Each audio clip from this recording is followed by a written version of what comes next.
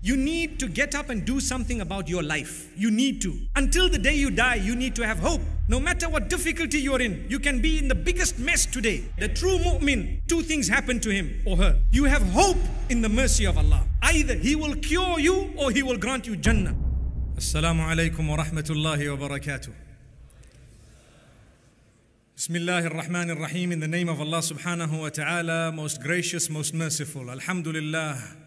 All praise is indeed due to Allah subhanahu wa ta'ala. والصلاة والسلام على عبد الله ورسوله محمد وعلى آله وأصحابه أجمعين. Complete blessings and salutations upon Muhammad sallallahu alayhi wasallam, his entire household, all his companions. May Allah subhanahu wa ta'ala bless every single one of them and may He bless every single one of us. May Allah bless the ummah of Islam and may Allah bless this beautiful country and nation of Malaysia as well. Ameen. My brothers and sisters, we need to understand why Allah subhanahu wa ta'ala created us. What was the purpose? Why is it that I come to this world and 70 years down the line, if I'm still alive, I'm preparing to die? Why is it that people come to this world and they die at an early age sometimes? Why is it that some are given age up to perhaps 100 and slightly beyond? Why is it that we haven't seen anyone in our lives live to 150 years? Why is it that Allah has chosen for us to be fit at an age where perhaps we are peaking on around 30, 40, and after that there is a decline? Why is it that Allah subhanahu wa ta'ala did not keep us upon a level of fitness, a level of perhaps looks where we are looking young and healthy? Throughout our lives. Why does it have to be a graph that starts off in weakness and ends in weakness?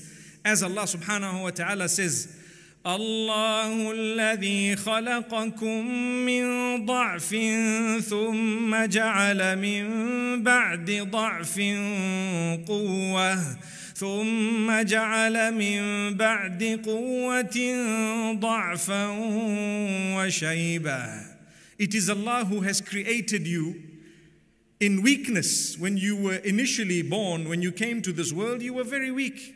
You were young. You depended on other human beings. Allah made you and gave you parents for a purpose. If He wanted, He could have created you in a way that you were already independent. You did not need anyone, but you needed someone to look after you from a very early age.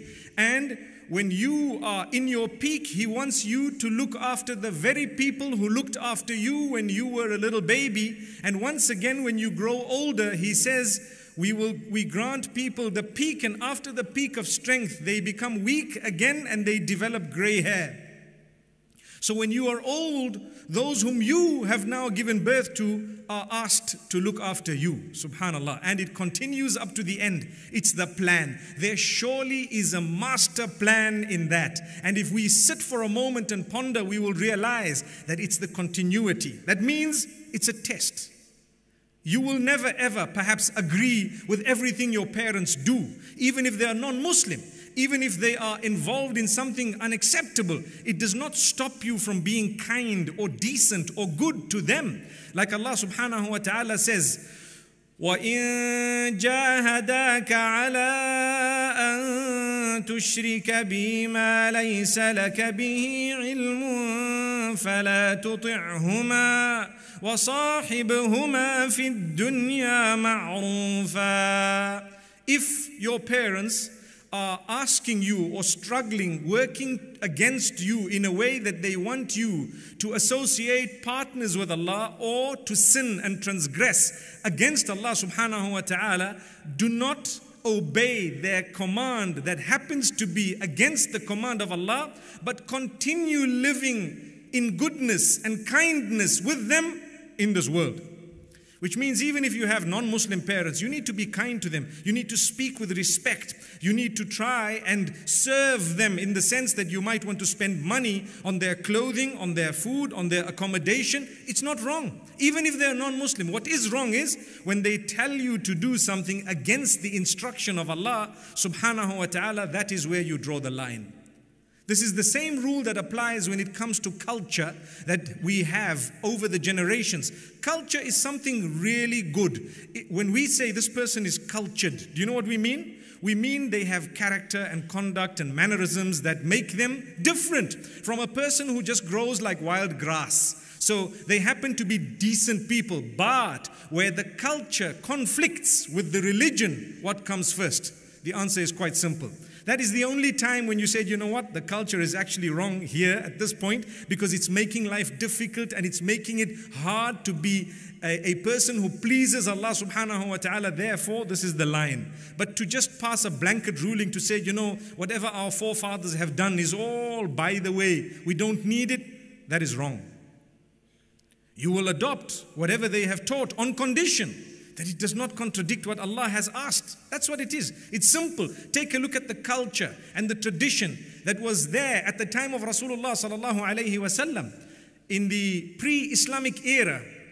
You find some of what they engaged in was so good, such as Hilful Fudul. There was a, a treaty or the covenant that they had pledged in order to support the oppressed. The Prophet, peace be upon him, says, Wallahi, in the period of ignorance, I was called to a certain covenant. If I was called to something similar again now, as Islam has progressed, I will still go back and respond to that type of a call, which means it was something good. So it's a test. Life is a test. We come into it and we are given a uniform. What type of a uniform? I've always said this, those who might be following, you would notice I've always said this because for me, it's a very, very powerful example. You are the soul that is within the body. That's called you. So this body is not me, the soul is me.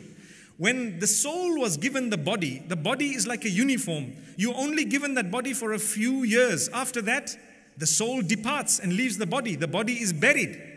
So I'm given a uniform as I come into my examination room. And for the first 15 years, 14 years, 12 years, up to the age of puberty, maturity, I'm just watching. I just see, I listen, I take, I watch. And then I need to start asking questions. Why am I doing this? Why do I do this? Why do we worship the cross? For example, those who might be worshiping the cross.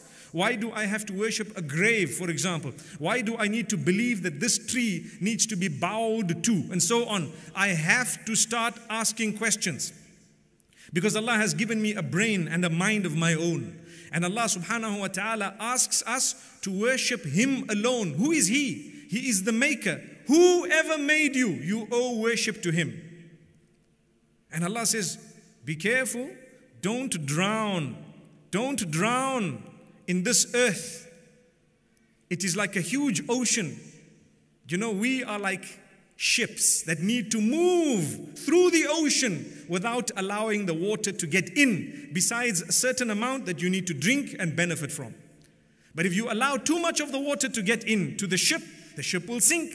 So the dunya or this world is similar to the water. And you and I are similar to ships on the water. If you allow too much of that water to get in, you forget your aim, your purpose. You begin to sink. You won't get to your destination. But if you just allow the right amount, perhaps for drinking, perhaps for other purposes, for washing and so on, to get into the ship, you would be able to arrive at your destination and have benefited from the water. Without the water, you won't be able to move. So Allah created you and I on this earth. We did not choose to come onto this earth. Some of us might have said that, you know what, if I was given the choice, I would want to have been perhaps born on Pluto or perhaps on Mars you know, when you tell little children, would you like to have been born on Mars? They think you're offering them chocolate. Astaghfirullah. Anyway, so this is not what it is. I have had no choice. Allah made me here. What type of life He has kept on the other planets and elsewhere, He knows. I don't even know. I only have very little knowledge. He says, وَمَا أُوتِيتُم مِّنَ الْعِلْمِ إِلَّا قَلِيلًا and you have not been given knowledge except very, very little. Very little. So, this is the knowledge I have. Allah created me, and, and I am on this earth to serve a purpose. What is the purpose? I need to understand whoever made me is the only one whom I will put my head on the ground for, no one else. I say, Subhana Rabbi al A'la, glory be to the one who made me. Rabbun means creator, nourisher, cherisher, sustainer, provider, protector, curer, the one who's in absolute control of every aspect of my existence. That's the meaning or part of the meaning of the term Rabbun. So I'm saying, Glory be to my Rabb who is the highest. Al A'la, who is the highest. When do I say that? When I'm in sujood. And the hadith says, أقرب ما يكون العبد لربه وهو ساجد. The closest that a worshipper can be to his Rabb is when he is in the prostration of sajda uh, sorry, in the position of prostration or sajda. It's the closest you can be to Allah subhanahu wa ta'ala. Take your time in sujood. Take your time in sujood. It's the closest posture, closest position you can ever get to Allah subhanahu wa ta'ala. So I must worship Him alone. I need to understand nothing is worthy of worship besides Him. So as time passes, Alhamdulillah, we get to maturity and mashallah, we are Muslimin, we are seated here, we worship Allah subhanahu wa ta'ala. But you know what happens? Things do not go according to our plan. Every one of us, without a single exception, would have faced things in their lives that did not go according to the way they wanted it to go. There is no exception. It's a challenge. Nobody can say, Everything in my life happened exactly per my plan. Never. Not one person. It goes to show you are weak, oh man. You can plan. Allah has a bigger plan.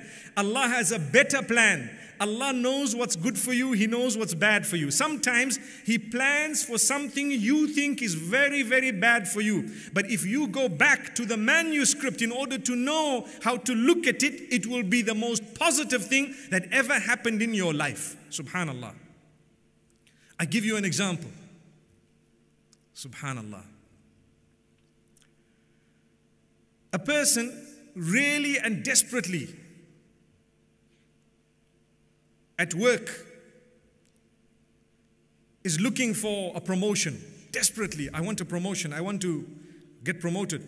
They're not promoted. In fact, they are fired. Fired for some reason or retrenched. Or, as they say, the person now has is redundant completely. We don't want you anymore. And you start crying. You're shocked. You have a few ways of dealing with the news. You wanted an increment, you wanted a promotion, you needed the money, you had to look after your family and so on. You were planning to buy a car or a house, you were planning perhaps to get married or to assist a family member in getting married. And what happened? Not only did you not get the promotion, but your boss called you and told you, you know what? You have one month of notice, and after that, we don't need you anymore. And you are just like, what? One way is to become depressed, to become sad, to go back home, to sleep, and never wanting to get up again. It's one way of dealing with it. And you are so sad, you cry every day, morning, evening, and night. And you don't want to talk to anyone, you don't feel like eating, and you get sick. Is that a believer? Is that what Allah taught you? When Allah subhanahu wa ta'ala is the one, He's the planner. You tried, and Allah is the one who overrules your trials and your plans. He knows what's better. أنت تريد والله يريد والله يفعل ما يريد you want Allah wants and Allah is the one who does what he wants subhanallah so now you're upset and what happens as a result everything came to a standstill your life is at a standstill you're, you're, if you're married your marriage is about to break because you can no longer afford to look after your family members you begin to feel inferior because perhaps your wife might be earning more than you you begin to become so sick that you suffer insomnia, you cannot sleep at night, and so on. One way of dealing with it. Or if you're a true believer, you say Alhamdulillah, Alhamdulillah, and you look at the verse where Allah subhanahu wa ta'ala says, ولنبلونكم بشيء من الخوف والجوع Indeed, we will test every one of you with various tests. We have to test you. One of them is fear. Obviously, this is part of fear. You've just been fired. You don't know what's going to happen. Fear is not just when you're fearing an enemy, that is part of it, but this is also a part of it. I'm fearing, I'm scared, I don't know what's going to happen tomorrow. Subhanallah. So it's important for me to understand Allah's plan is He's going to test me. I cannot enter an examination room expecting no test. I'm just sitting there with my pen and my paper, and I'm thinking to myself, I don't want to, to be tested here. Let me just cry. That's it. My tears will definitely drop onto that paper and change its shape, perhaps. And when the examiner sees it, he will give me 100% because he will be sympathetic to the fact that I just cried. That's not what it's all about. You see, the most difficult question what did your teacher teach you? Attempt it, try your best. That's all. We all know, I'm sure we're all adults here, even those who are children from amongst us. You would know when you have an examination twice a year, thrice a year, and you have to write, to answer the questions, you are taught definitely that look, attempt it, try it, write whatever you feel is correct. Don't leave it blank. You might just get it right. Don't just sit back and become depressed. No, try. Do your best. Leave the rest, inshallah, in the hands of Allah subhanahu wa ta'ala. The same applies in life. So Allah says, We will test you with fear and with hunger.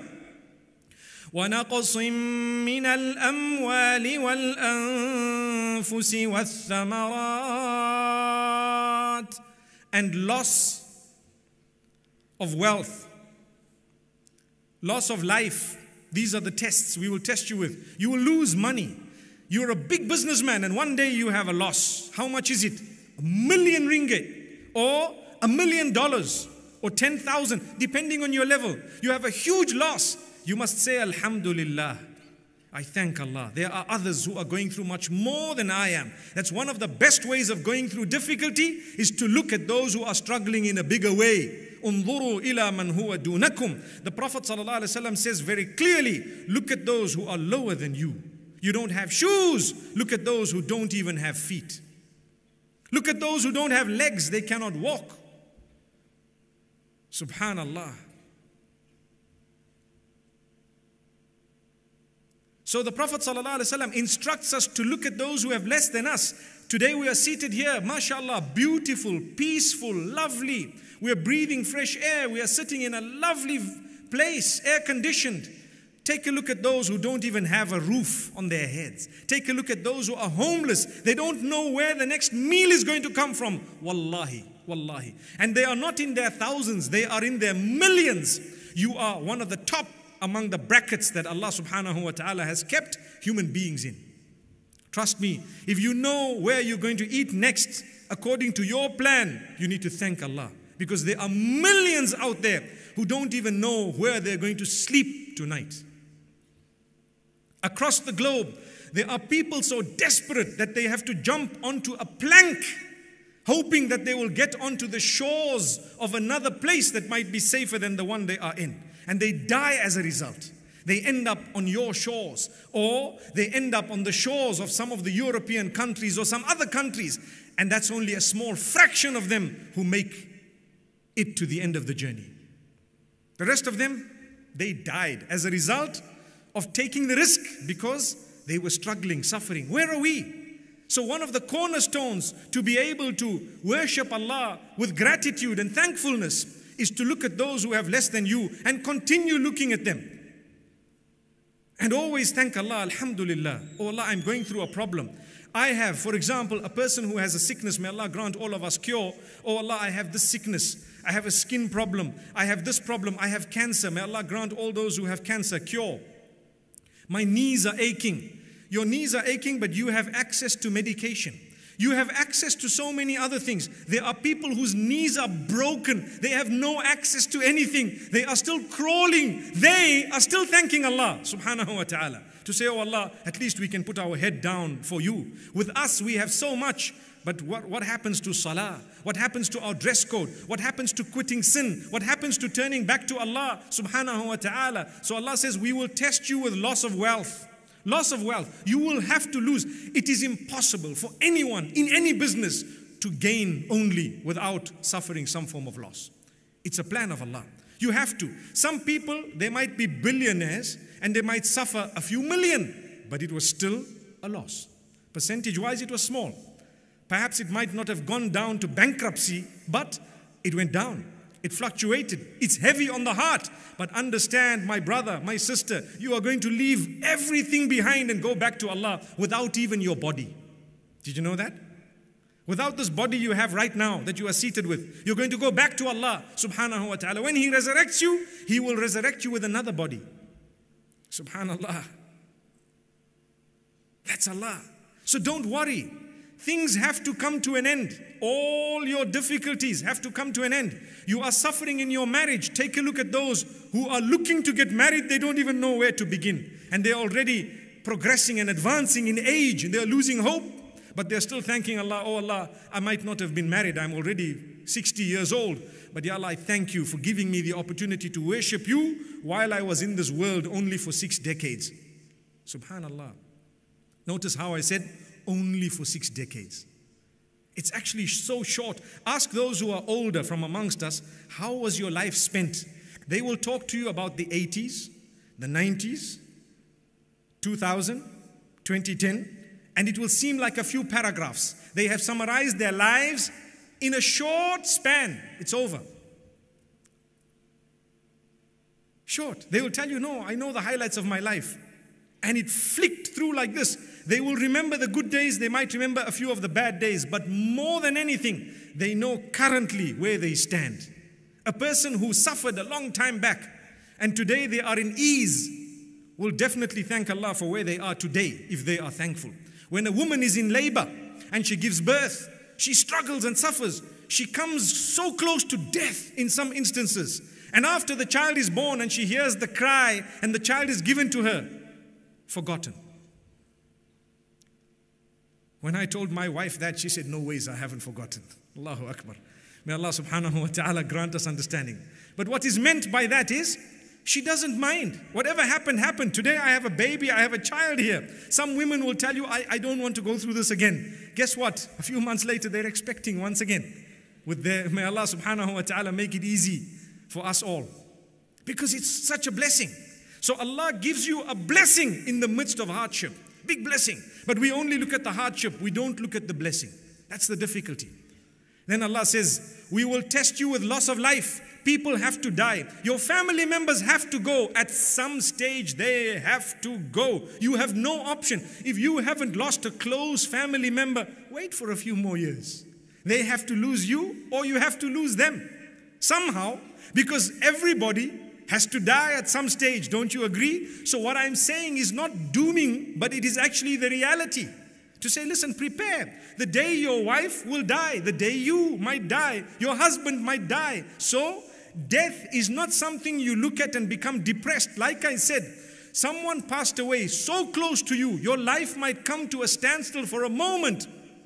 But a true believer is taught to say, Inna lillahi wa inna ilayhi raji'un. We indeed belong to Allah and we will all return to Allah subhanahu wa ta'ala. That's how you go through the hardship. That's how you maintain closeness to Allah subhanahu wa ta'ala by declaring constantly that you are all going to return to Allah. We will all return to Allah subhanahu wa ta'ala. So I become close to Allah subhanahu wa ta'ala and I know I have to carry on whether I like it or not. I have to make ends meet. I know of a family Two brothers were shot in the city of Durban, may Allah grant them Jannah, a few weeks ago.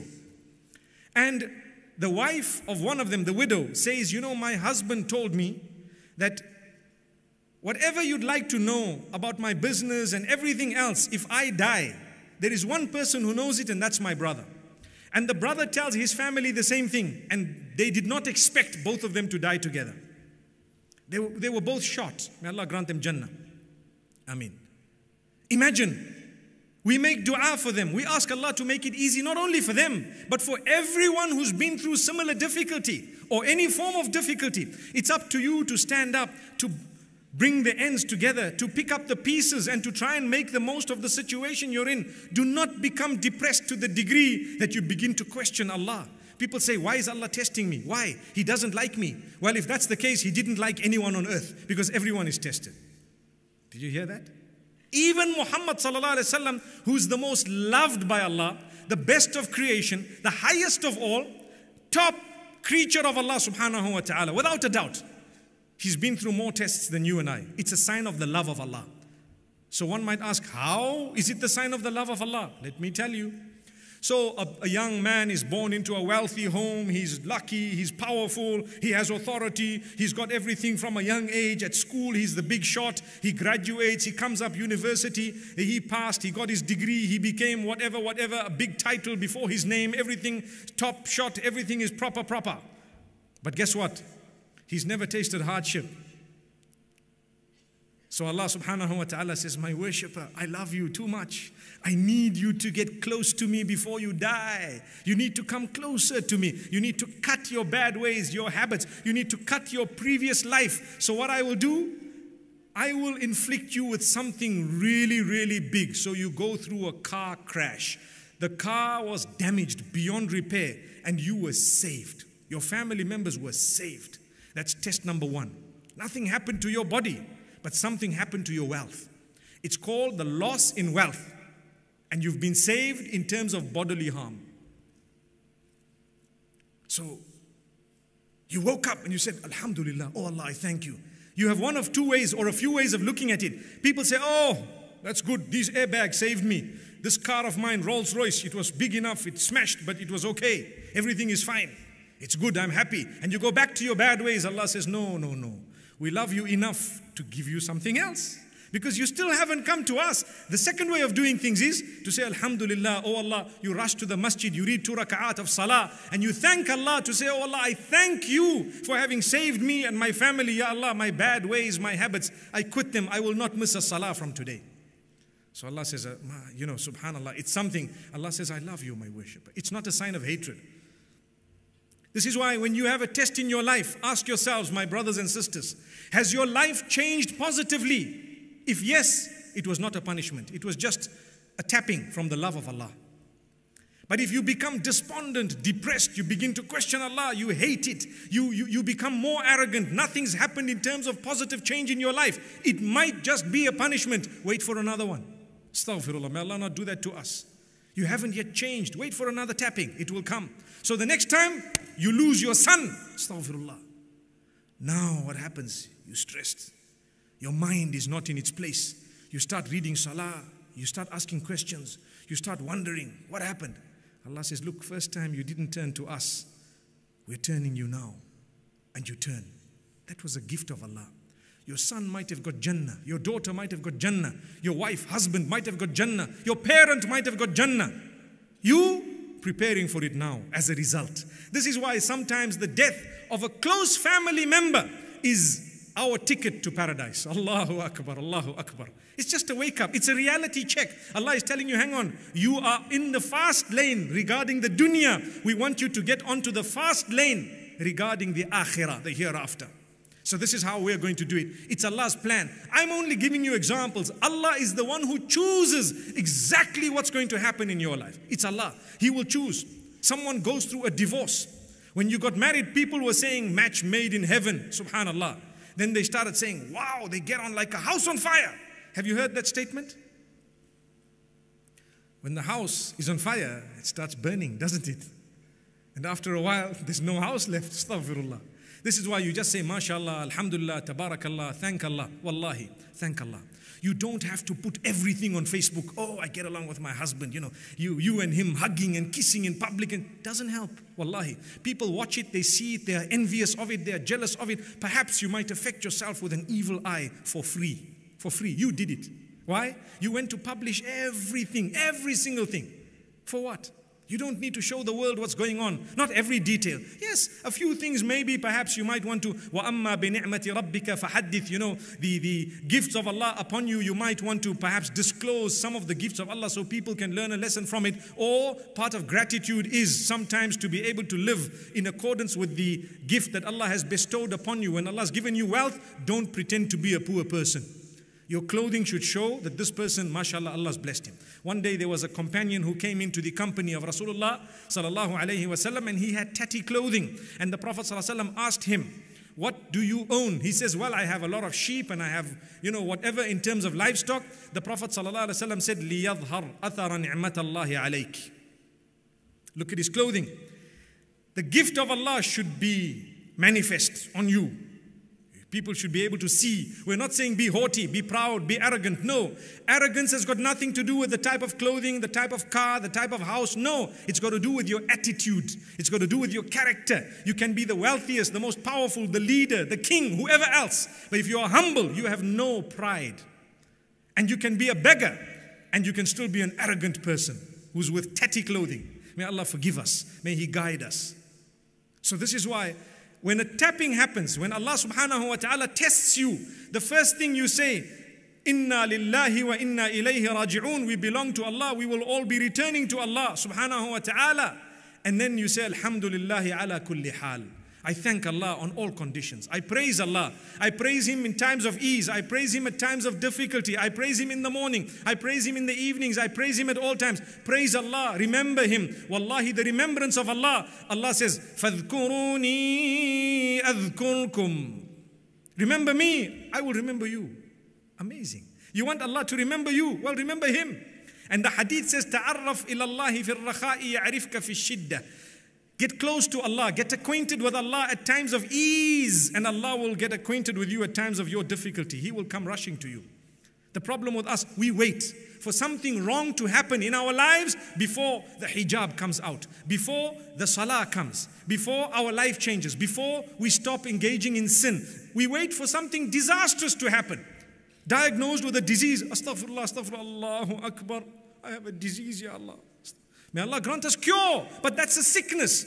If you have a disease and you turn to Allah, it is still a gift of Allah.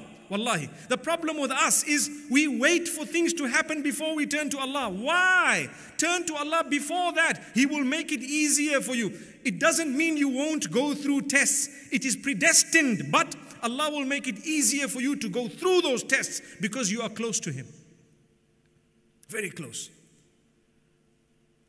Allah tells Muhammad sallallahu alayhi wasallam, ما ودعك ربك وما قلى When revelation stopped for a little while, Muhammad sallallahu alayhi wasallam was anxious. He was a little bit concerned, worried. Allah says, No, your Lord has not forsaken you, nor is He upset with you. Hang on, it will come. The revelation will come. Your Lord is not upset. Don't think because something did not happen according to your liking that Allah is angry with you. No. The same applies to everyone else. You make dua, oh Allah, I want to pass. You are a top student. You have had A's at O level, perhaps. Now here comes A level and you didn't do well. Does that mean Allah doesn't like you? Not at all. You made so much dua to Allah, oh Allah, help me to pass, help me to gain A's and so on. Allah says, hang on, we know what's better for you. We don't want you to get that. Wait, you might want to re repeat. We might not want you to go in a direction that you are heading. We might want you to go in another direction. The only way to get you there is by us downsizing, downgrading, not giving you what you want, but we know what's better for you. Subhanallah. So you got to thank Allah. Calamity happens, disaster happens, you lose someone. You lose produce in your business, perhaps. You might lose stock. There is a big fire, a huge fire. And you know what? That fire destroyed all your stock. And you say, Alhamdulillah, I thank Allah for whatever has happened. Oh Allah, forgive me where I've gone wrong. Do you know it is a quality of a believer when something bad happens to you that you ask yourself, Am I doing something wrong here? Important. If you come to me and you say, Look, you know what? This went wrong, that went wrong, this went wrong. What has happened? Some people say, the next door neighbors have done black magic on me. Nothing to do with black magic. Stop depressing yourself further by hating innocent people who've done nothing to you. Not at all. You start disliking your sister in law. You know that word, sister in law? You either love or you just hate. Astaghfirullah. I don't know. May Allah subhanahu wa ta'ala grant us good in laws. Well, I have brilliant in laws, mashallah. I have to say that. So may Allah subhanahu wa ta'ala help us all. The truth is, and it's a reality, we become so despondent, so depressed. Don't be. One thing goes wrong, two things, five things, you come to me, I will tell you, just turn to Allah. Don't worry, it's not a punishment. It's a sign that you need to get closer and closer to Allah. Make dua, make ends meet as best as you can. Get up and walk again. In a lot of cases, the people's businesses flourish in a bigger way than they were before the loss. If they get up and they work harder. You lost your spouse, you say, I'm never going to get married again. Fine. But you know what? Perhaps sometimes you need to consider it. Perhaps it's better for you. Who knows, you might have a spouse that might be better than the previous one. It could be. Don't just sit back and say, no, it can be, maybe. The point I'm raising is you need to get up and do something about your life. You need to. Until the day you die, you need to have hope. No matter what difficulty you're in, you can be in the biggest mess today. You can be diagnosed with a terminal disease. You can be on your deathbed. A true mu'min two things happen to him or her. You have hope in the mercy of Allah. Either He will cure you or He will grant you Jannah because of your sabr. There's no third way. If I, for example, am on my deathbed, may Allah grant us a good death. A person who perhaps has diagnosed with a disease, let's say, for example, cancer. It's quite common, it's becoming more and more common. May Allah grant Jannah to those who've died with it. May Allah grant sabr to those who have it in a way that they are cured, or if they happen to die, they will get Jannah because of that sabr. And may Allah make it easy for the families. And for those who are taking care of these type of people, that is also your paradise. To take care of someone who's sick and ill, that's your Jannah. It's Allah's way. Do you know that there's a hadith which says on the day of judgment, Allah will say, Subhanahu wa ta'ala, I was sick and you didn't visit me. And man will say, Oh Allah, how could you have been sick and you are Rabbul Alameen? And Allah will say, Did you not hear of my worshipper, so and so, who was sick and ill? Well, had you visited him or her, you would have found me there. You'd have gained closeness to Allah subhanahu wa ta'ala. So, when a person is now on their deathbed, they need to have hope. You must be convinced that you are going to a better place. You must be happy. You must be smiling. You cannot cling to dear life. You will die whether you hold fast on your bed or not. You will go. You rather go calm. Say, Oh Allah, you have said, Ana inda abdi bi. Allahu Akbar. I will treat every worshipper of mine the way he perceives me.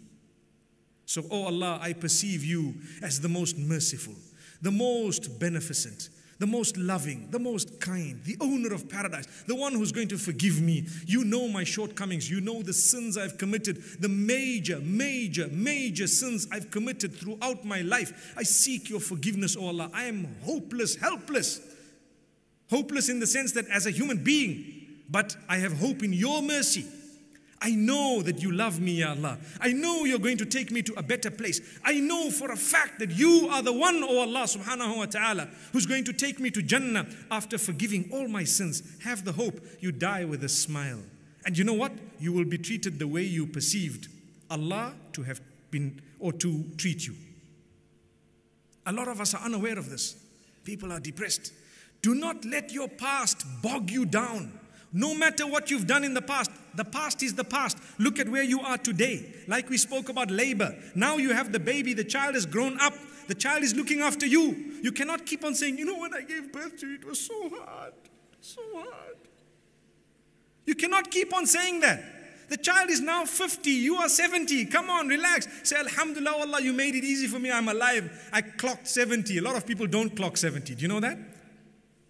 Do you thank Allah. You cannot keep on talking about the past suffering that you had and making yourself depressed here. Leave it. The sins you've committed in the past, they're gone. You asked Allah's forgiveness once, it was wiped out. You are encouraged to repeat repentance so that your status can be elevated, not because you are doubting Allah's forgiveness. Remember this.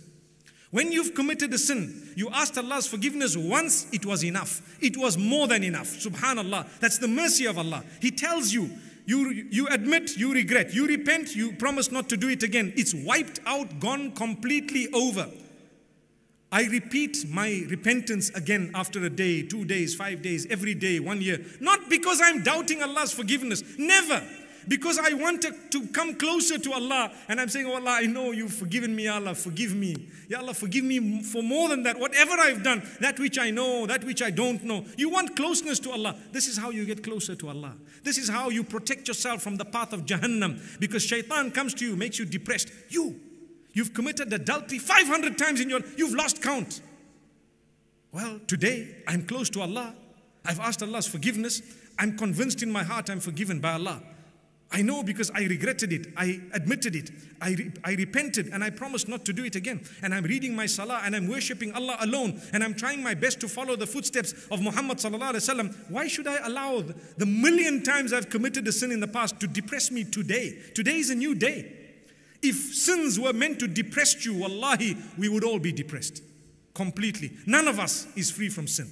So don't allow that to happen. These are tests, these are challenges. Your path is to paradise. You walked for 200 kilometers on the wrong path, but you know what?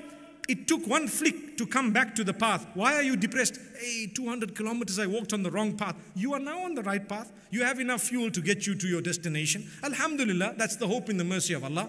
You are trying your best. Carry on walking. Stop lamenting about how long and how whatever else happened. Allah had it that way. Look at the Sahaba radiallahu anhum. Do you know? They were mushrikeen. They used to worship idols. And then they accepted Islam. They used to laugh about the past, literally. They used to say, hey, when we, you know, some years back we used to do this and we used to do that. They used to mention it in order to, to, to highlight how foolish they were. Subhanallah.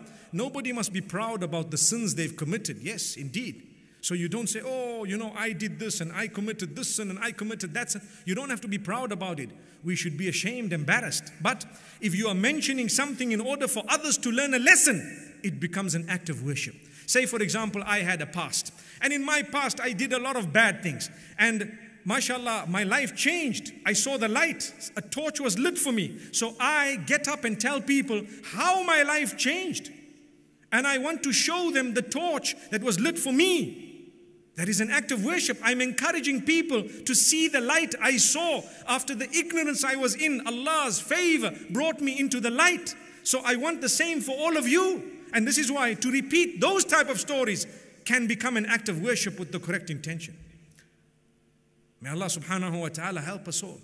My brothers and sisters, you will be tested. Have hope in the mercy of Allah. Look forth. Allah says, يا أيها الذين آمنوا استعينوا بالصبر والصلاة إن الله مع الصابرين O you who believe, seek assistance. Ista'inu means to seek help. Seek help from who? With what? Allah says, seek help with two things sabr and salah. Bear patience, be forbearant, practice restraint. That is all part of sabr. And salah. Salah is the gift that a mu'min has. The five daily prayers, never miss them. No matter what problem you have, you need to learn to seek Allah's forgiveness and to constantly find yourself in prayer. If your five daily prayers are on time, at the beginning of the time, and you take your time to fulfill them, Allah says, I will make all my tests for you easy to go through. When the Prophet ﷺ went to Ta'if, he was tested. He lost his children one after the eh, other. He was tested. He went through one upon the other. People created armies in order to fight him. He was tested. Not once was he depressed, never. He always had hope in Allah. Why? He was regular with his link with Allah. These matters must bring you closer to Allah. This is how they are termed a gift. Inna Allah ida ahabba abdan ibtalah. Muhammad sallallahu alayhi wasallam, he says it is indeed when Allah loves his worshipper that he tests him. So when I have a challenge, I get to Allah, oh Allah, help me. Oh Allah, assist me. Oh Allah, my heart is softened. Why is my heart softened? It used to be a hard heart. It used to be arrogant. I was running after money, money. Money is a religion. Do you know that? People worship it. They do anything for it. They make sure they get it. Wallahi, apply that rule to Allah. Don't worship money, worship Allah. Ta'isa abdu dirham تعس عبد الدينار تعس وانتكس وإذا شيك فلانتقش At loss is the one who worships the gold, and at loss is the one who worships silver. Such a big loss that even if they were pricked by something, by a thorn, they wouldn't be able to remove it. Allah says, You are helpless. Why worship money? Yes, earn money. No one is saying divorce yourself from it. That's the other extreme. Earn it, use it to thank Allah, use it to worship Allah, use it to spend on your family members perhaps, and on yourself to do things that are permissible and so on. No problem. Everyone has to earn. But at the same time, worship is for Allah subhanahu wa ta'ala. It must soften your heart. It brings you closer to Allah after a hard heart, problem after problem, difficulty upon difficulty. And subhanAllah, you know what happens? We just become closer to Allah. Don't ever think because you've had 10 issues one after the other, 10 issues one after the other, that Allah hates you. No, in fact, He loves you. And the last point that I want to close with, my brothers and sisters sabr. Sabr, I did say patience, forbearance, and restraint, but I want to give you one example of it. When you have a problem, you call out to Allah. Do not be impatient. Wait. Allah will give it to you after 40 years, maybe, but He will give it to you when He knows it's right for you. You have a problem, a difficult spouse, you have a difficult, you have a challenge, you have a difficult child. Keep on making dua for your child. Do not lose hope. Keep on with the same enthusiasm, with the same passion, with the same belief in Allah, with the same hope. Continue day and night making dua to Allah subhanahu wa ta'ala. One year later, five years later, ten years later, those from amongst us who don't have children, you know how it feels. May Allah bless you with offspring. Continue making dua even when you're older. Make dua and continue asking Allah and do not lose hope and continue remain as steadfast as possible. It is Allah subhanahu wa ta'ala who will open your doors. Wallahi, they will open one day. And if Allah does not open those doors in this world, the fact that you continued and had hope and continued with patience and forbearance, He will fling open the doors of paradise and ask you to enter from whichever door you want. May Allah subhanahu wa ta'ala grant us all Jannah. Wa sallallahu wa sallam وبارك على نبينا محمد. سبحان الله بحمده سبحانك اللهم وبحمدك نشهد أن لا إله إلا أنت. نستغفرك ونتوب إليك.